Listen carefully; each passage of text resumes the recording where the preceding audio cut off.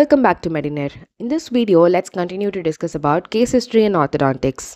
In the previous video, we discussed till extraoral examination. In this video, let's begin with intraoral examination. Here, we'll cover only those things which influence the orthodontic diagnosis and treatment planning.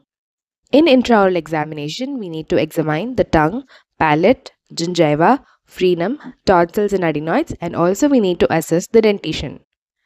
Examination of tongue. Tongue is a very important muscular organ of the oral cavity and it helps in facial growth as a part of functional matrix. Any abnormality of tongue can upset muscle balance and equilibrium which in turn leads to malocclusion. The major factor of the tongue which is going to influence the occlusion is the size of the tongue. Excessively large tongue can be identified by the imprints of the teeth on the lateral margin of the tongue, giving it a scalloped appearance which is notable in this image. The other factors related to tongue which is going to influence the normal occlusion are posture of tongue and tongue thrusting. The normal resting position of the tongue is retracted where the tip of the tongue lies just behind the lower incisors and the lateral border of the tongue rests on the linguo-occlusal surface of the mandibular teeth.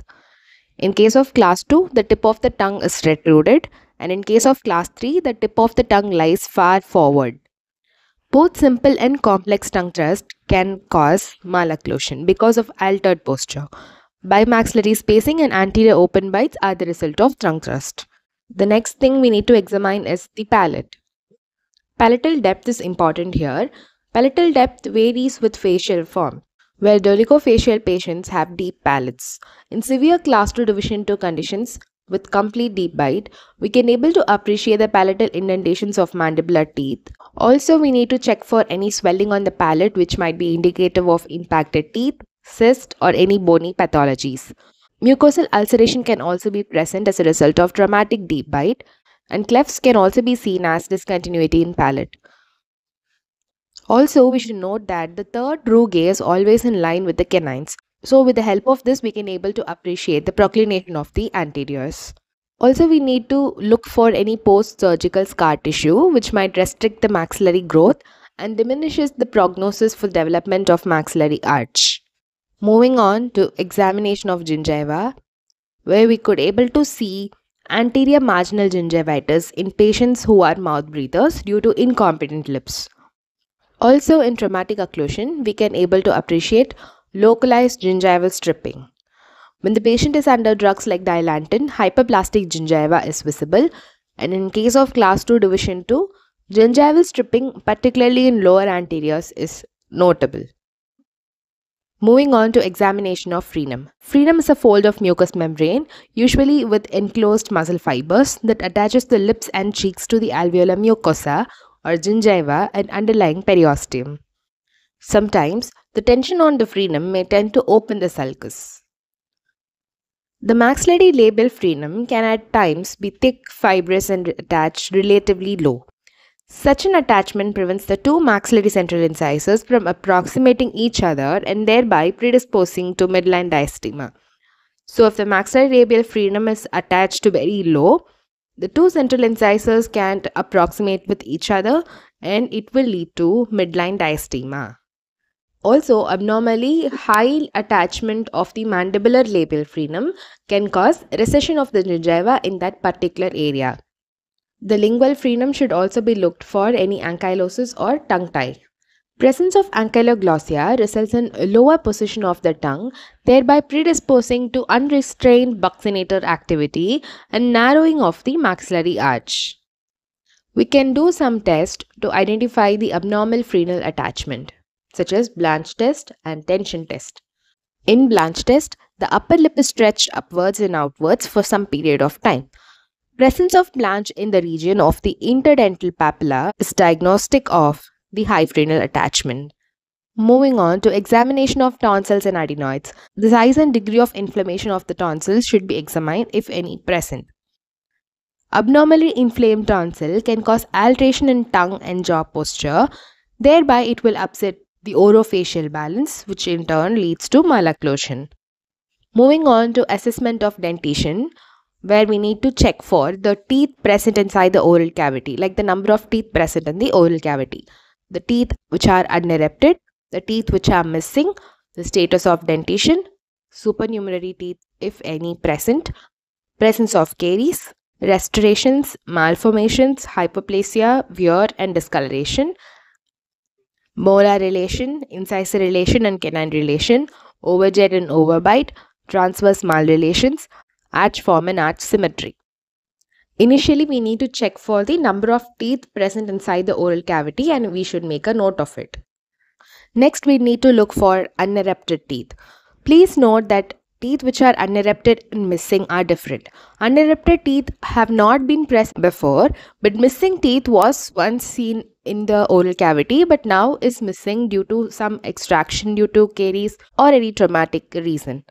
Sometimes missing teeth can also be because of hypodontia caused by ectodermal dysplasia, Down syndrome and cleft palate.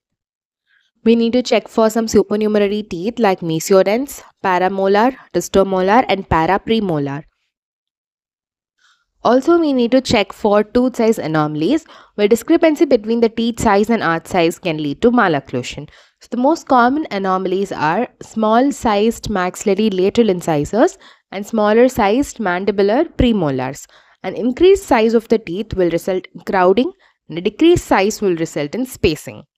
Abnormal eruption path should be noted with the help of wrong side of a tooth. Malposition of the tooth bud can lead to ectopic eruption of a tooth, which is the tooth is erupting at the wrong side. Permanent maxillary first molar and mandibular incisor are frequently affected teeth. Also, any premature loss of deciduous teeth or retained deciduous teeth can lead to malocclusion. If the deciduous teeth is lost prematurely, loss of space is there, due to which there is derangement of the occlusion. If the deciduous teeth is retained, there is no space for the permanent teeth to erupt, which again causes malocclusion. Mostly primary canines and second molars are retained. Now let's see what are the abnormal tooth shape and what effect do they have orthodontically in the oral cavity. If we see fusion of the teeth, it will lead to spacing in dental arches. Gemination will lead to discrepancy in arch length and tooth material, causing crowding.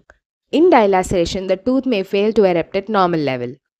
In case of Talon's cusp, it prevents establishment of normal overjet and overbite. Peg laterals will cause spacing and migration of teeth. Leong premolars have normal intercuspation with the opposing teeth and if mulberry molars are present, it will cause irregular occlusal surfaces of molars.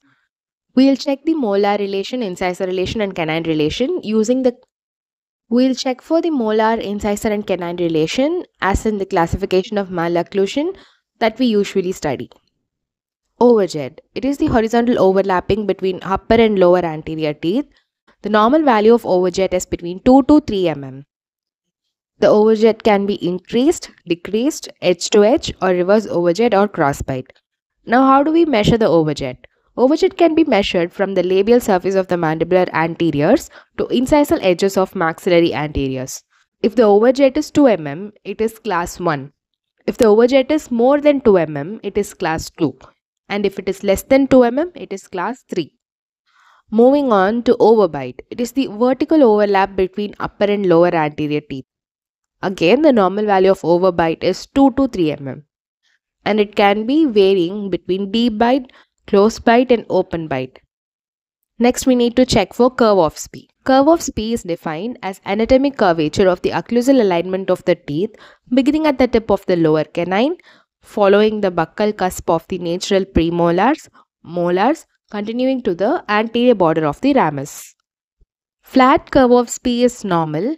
Deep curve of Spee is seen in more confined area, which is seen in crowding, and reverse curve of Spee results in an extensive room which is in spacing. Next, we need to check for the arch form. In class 1, the arch form is square. In class 2, it is tapered. And in class 3, it is ovoid. And that brings us to the end of the video. I hope you guys found it helpful. Do like this video and subscribe to Medinare for more. Thanks for watching.